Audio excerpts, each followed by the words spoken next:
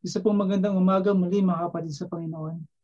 Ang title ng ating devotion sa umagang ito, ang tunay na paglilingkod sa Diyos. At basahin po natin ang ating mga verses o talata na gagamitin po sa umagang ito. Sa Colossians chapter 3, verse 22 to 24. Diyan niyo pong basahin ko po ito sa inyo. Mga alipin, magsitalima kayo sa lahat ng mga bagay sa mga yaong ayon sa laman ay inyong mga Panginoon. Hindi ang paglilingkod sa paningin na gaya ng pagibigay lugod sa mga tao, kundi sa katapatan ng puso na mga takot sa Panginoon. Anumang inyong ginagawa ay inyong gawin ng buong puso na gaya ng sa Panginoon at hindi sa mga tao. Yamang inyong nalalaman na sa Panginoon ay tatanggapin ninyo ang ganting mana sapagkat naglilingkod kayo sa Panginoong Heso Kristo.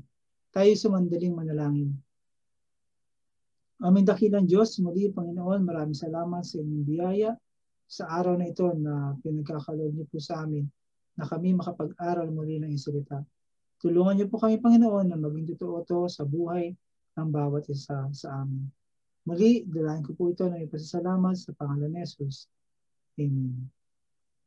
Ang tanong na gusto ko po sana sagutin natin sa umagang ito ay, bakit may mga Kristiyano nawawala o tumitigil sa paglilingkod?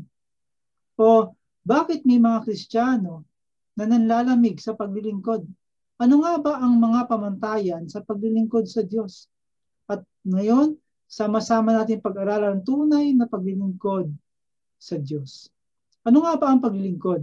Ang paglilingkod sa Diyos ay may pamantayang dapat na gawin upang masabing ito nga ay tunay. Una, ang paglilingkod sa Diyos ay paglilingkod sa Panginoong Heso Kristo. Tulad nga po ng binasa natin sa Colossus chapter 3 verse 24, ang sabi po doon, Yamang inyong nalalaman na sa Panginoon ay tatanggapin ninyo ang ganting mana sapagkat naglilingkod kayo sa Panginoong Heso Kristo. Dito po sinasabi na ang Kristiyanong alipin. Ang batayang talata natin ay tumutukoy sa paglilingkod ng isang Kristiyanong alipin. Sa Biblia, ang isang alipin ay susunod sa kanyang Panginoon sa ayaw man niya o sa gusto niya.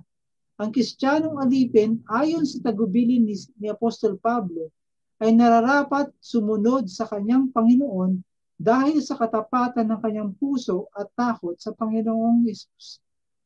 Mahirap ang buhay ng isang alipin sa panahon ni Apostol Pablo. Sila ay pag-aari ng kanilang Panginoon at walang karapatang tumanggi sa anumang ipagputos sa kanila. Pinalalakas ni Apostol Pablo na ang aliping naging Kristiyano gumawa ng may katapatan at may takot sa Panginoong Heso Kristo. Dito makita natin ang paglilingkod sa Diyos ay nakasentro sa Panginoong Hesus. Saang mang larangan tayo gumawa. Ang tapat na puso at takot sa Panginoon ay nagtutulak sa isang mananampalataya upang maglingkod siya sa Diyos. At dito binigyan din po tayo ng babala. We should not be man pleasers. Ang paglilingkod sa Diyos ay hindi paglilingkod na ang layunin ay makita lamang ng tao at magbigay ng kaluguran sa kanila. Alam niyo po ba, hindi maiiwasang makita ng tao ang ating ginagawa dahil lahat tayo po ay naglilingkod sa Diyos. Dalawang reaksyon ang maaring matanggap mula sa tao. Una, ikatuwa nila ang nakikitang paggawa. Marami po niyan natutuwa dahil naglilingkod tayo sa Panginoon. At yung pangalawang reaksyon, magsalita laban sa nakikitang paggawa. Yun naman po ang isang negatibo. Pero bilang mga mananampalataya, alinman sa dalawa, ang paglilingkod, bunga ng takot at may pagmamahal sa Panginoon ay dapat hindi tayo maapektuhan. Ito lang po sana ang maging uh, layunin natin o isa puso natin. Kung tayo ay makatanggap ng parangal o papuri, purihin ng Diyos. At kung tayo man ay makatanggap ng pag-aalipusta o di, di magandang reaksyon, purihin pa rin ang Diyos. Tandaan po natin, ang ating paglilingkod ay para sa Diyos. Tandaan natin, ang ating paglilingkod ay para sa Diyos at sa Diyos lamang at hindi sa tao. Kaya wala dapat tayong ikahiya o ikatakot o ikagalit. Kung ang intensyon natin ay bumango, bumango ang ating pangalan o ang ibang tao makita ang ating ginagawa o ang ating intensyon ay parang maki, maitaas ang ating sarili o yung iba tinatawag naman tong self-righteousness na para makita na sila ay matuwid. Then ang iyong paglilingkod ay hindi sa Diyos at ito ay para lang sa tao. At tandaan po natin, huwag din po tayong maglingkod dahil sa gusto natin kung sino ang tagapanguna o sabihin na natin kung sino ang pastor na nangunguna. Dahil kung ganyan po ang ating puso sa paglilingkod sa Diyos, Diyos na po ang hatol sa iyong paglilingkod. Again, ang paglilingkod po natin ay dapat sa Panginoong Heso Kristo. At yung pangalawa, ang paglilingkod sa Diyos ay paglilingkod na nagpapatuloy. Sabi po ng Colossus chapter 3 verse 22, hindi ang paglilingkod sa paningin na gaya ng pagbibigay lugod sa mga tao, kundi sa katapatan ng puso na mga takot sa Diyos. Dito makikita po natin ang paglilingkod ay nagpapatuloy. Okay? At hindi po tumitigil. Nananatili, hindi tumitigil anumang panahon, hindi napapagod kahit anong dami ng gawain, hindi sumusuko kahit anong bigat ng dalahin. Dito makikita din po natin na, natin na dapat tayo ay tapat na may tapat na puso. Singleness of heart. Ang paglilingkod ay nagpapatuloy dahil ito dahil hindi ito naagaw ng ibang bagay. Ang pusong tapat sa Panginoon ay nananatili sa Panginoon anuman ang nararanasang hirap sa buhay. Lalo na po sa panahon natin ngayon ano man ang naranasan natin na hirap, dapat tayo po ay may tapat na pusong naglilingkod sa Diyos. Dito po sa passage na, passage na ito, nalalaman ni Apostol Pablo na maaring mandaya o gumawa ng mali ang isang alipin kaya binibigyan din niya ang balanse ng pagsunod sa tao at pagtatapat sa Panginoong Hesus.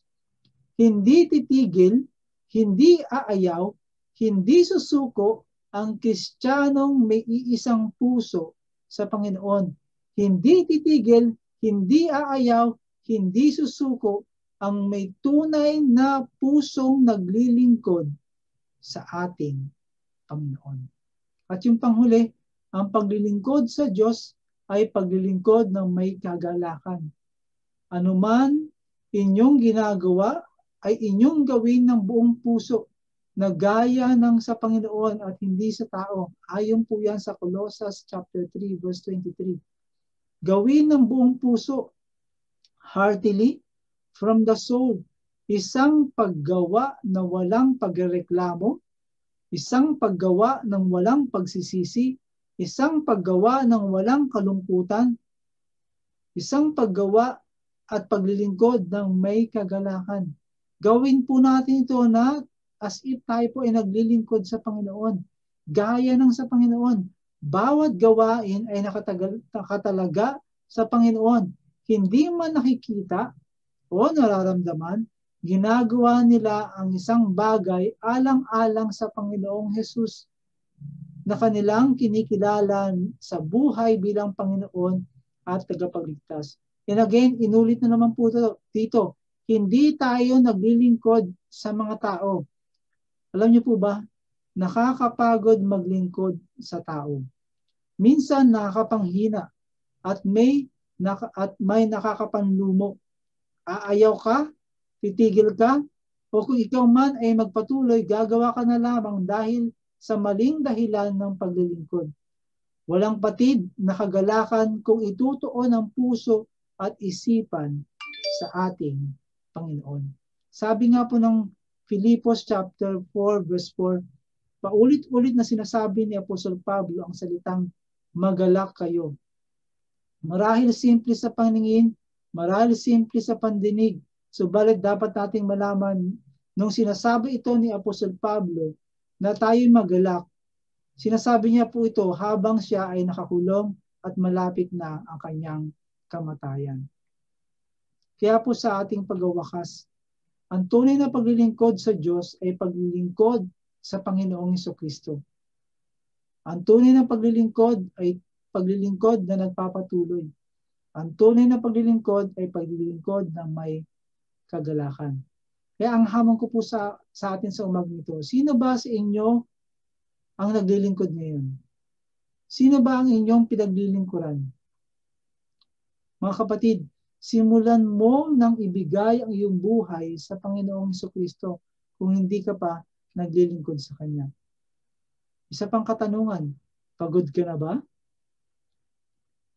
Minsan ka na bang naglingkod at nais mo nang magbalik sa Kanya dahil napagod ka? Mga kapatid, magpatuloy ka lang. Hindi natin kayang bigyan lugod ang lahat ng mga tao. Gumawa ka lang na ang Panginoon ang iyong pinaglilingkuran. Again, hindi ka na ba masaya sa ginagawa mong paglilingkod? Maaring palakasin ka ng mensaheng ito. Tandaan po natin, walang puwang ang lungkot sa paglilingkod kung buong puso at kaluluwa mong gagawin ang lahat ng uri ng paglilingkod para sa Panginoon. Tayo po'y manalangin. Panginoon, maraming salamat muli sa inyong reminder na kami, Panginoon, ay dapat maglingkod sa iyo lamang at hindi sa tao. At hindi kami malulungkot, hindi kami mapagod dahil alam po namin na ang aming pinagsisilbihan, ang aming pinaglilingkuran ay kayo na aming Diyos sa tagapagligtas. Muli, maraming salamat. Purihin ka sa pangalan ni Jesus. Amen.